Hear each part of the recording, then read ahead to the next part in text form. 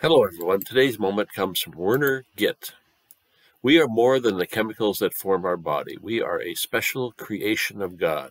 Man is God's masterpiece, his workmanship, the crown of creation.